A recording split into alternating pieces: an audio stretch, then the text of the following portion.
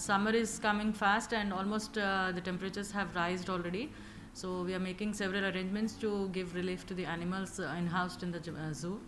So as a part of summer arrangements, we are providing air conditioners for the nocturnal animal house and uh, cub rearing centers. And we are providing uh, 50 coolers in different enclosures of the animals and birds.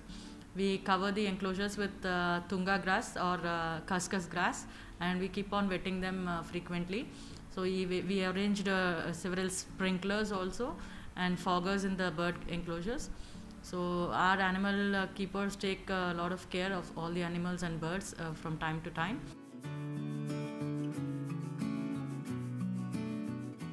Every time we have to do summer arrangements because uh, the March already uh, going to be completed.